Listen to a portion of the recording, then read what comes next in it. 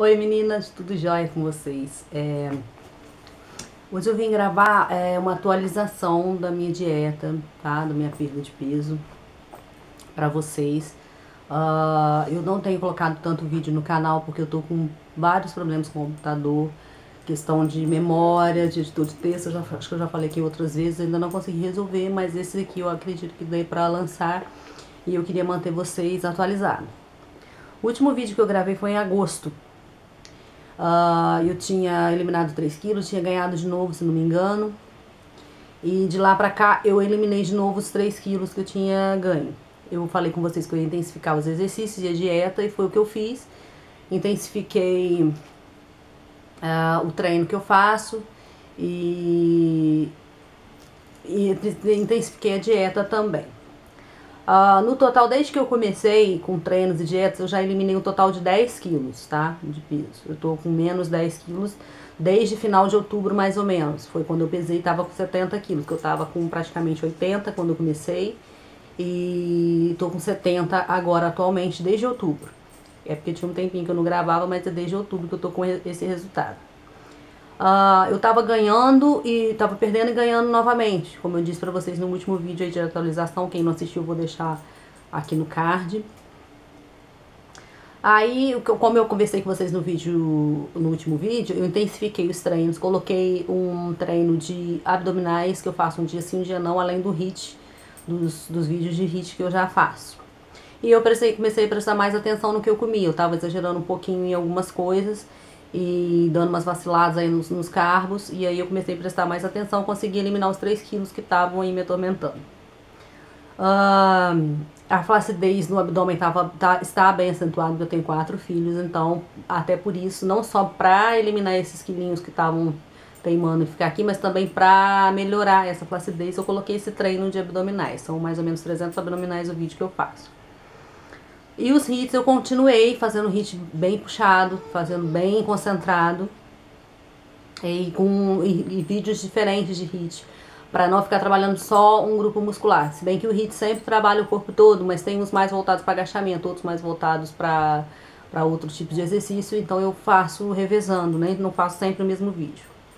Uh, eu não fiz nenhum acompanhamento, não fiz, não faço nenhum acompanhamento com nutricionista, nem tenho treinador, nem tenho feito academia.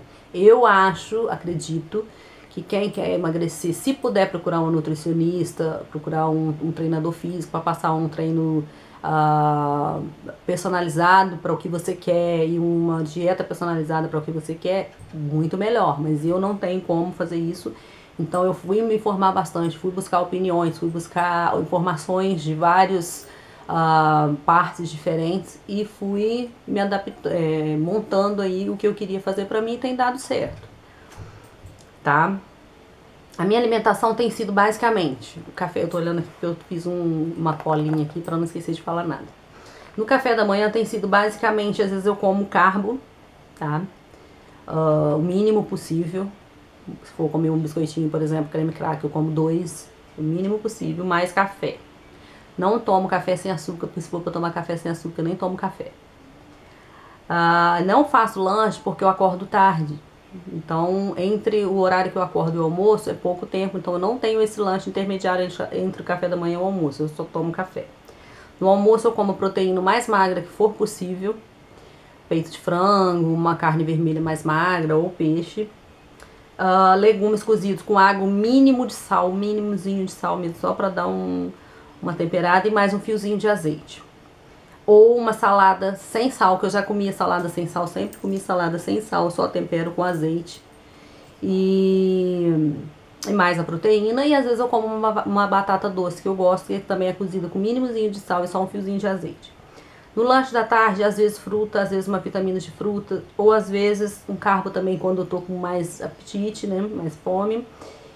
Quantidade também mínima, ou um queijo branco. E na janta, o mesmo, geralmente o mesmo do almoço, a proteína e mais uma salada ou legumes. Uh, às vezes, antes de dormir, quando eu tô com bastante fome, que às vezes eu jantei muito pouquinho e aí chega na hora de dormir, tô com um pouquinho de fome, aí eu como uma fruta ou um pedaço de queijo, ou um copo de leite, alguma coisa assim. Aí vai perguntar assim, mas você fala low carb? Eu não faço low carb, não sigo low carb, assim, rigorosamente, mas uh, sigo mais ou menos por essa linha. Mas você come, eh, come carboidrato? Então, existem três tipos de low carb. Existe a low carb restritiva, que você tem que comer menos de 20 gramas de carboidrato por dia. Tem a moderada, que você tem que comer entre 20 e 50 gramas de carboidrato por dia. E tem a liberal, entre 50 e 100 gramas de carbo por dia.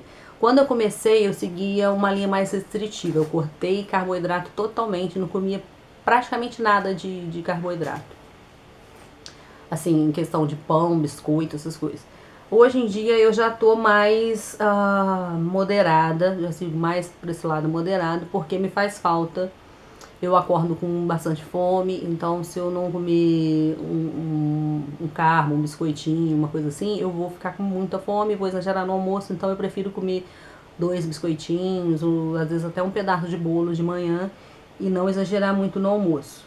Tá? Eu não acredito muito em corte radical de nada em dieta, porque ah, geralmente as pessoas cortam muito, assim, de forma radical, não como nada de carboidrato, e depois não aguentam e cai para uma, né, chuta o balde, volta e come compulsivamente, recomeça tudo de novo. Então é preferível manter uma moderação.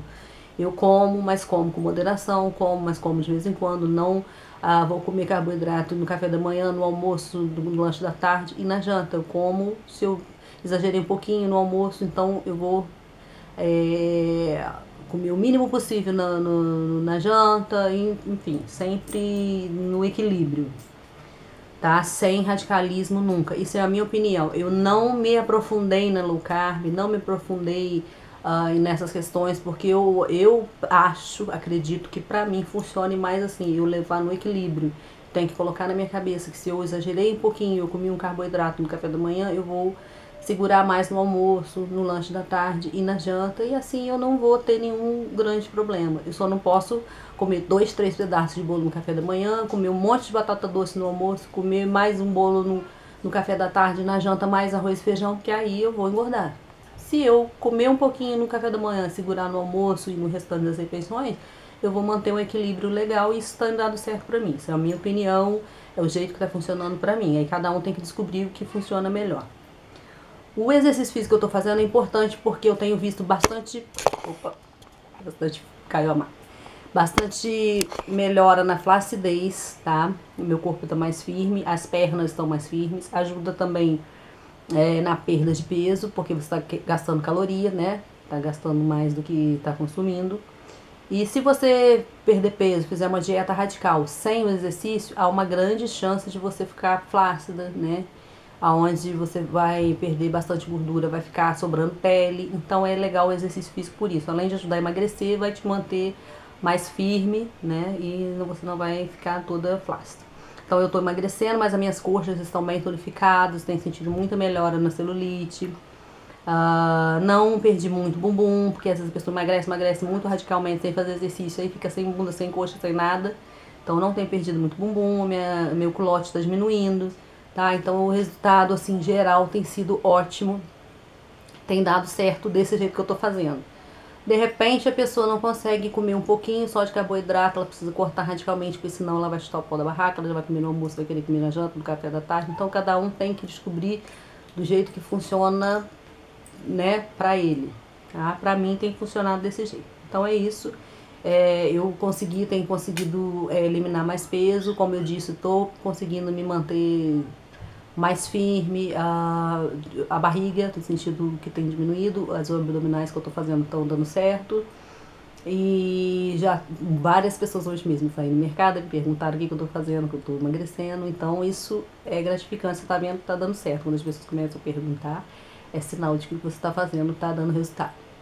Tá bom? Então é isso, eu queria só atualizar vocês de como tá. Então, no total, desde que eu comecei, foram 10 quilos a menos. Quero perder pelo menos aí mais 5, tá? E assim que eu tiver mais novidades, eu gravo um outro vídeo pra vocês, tá bom? Beijos. Não esquece de se inscrever se não é inscrito. Dá um joinha se gostou do vídeo. Clica aqui embaixo para inscrever e no sininho pra quando tiver vídeo novo você ser informado. E comenta aí pra mim, tá bom? Beijos. Até a próxima.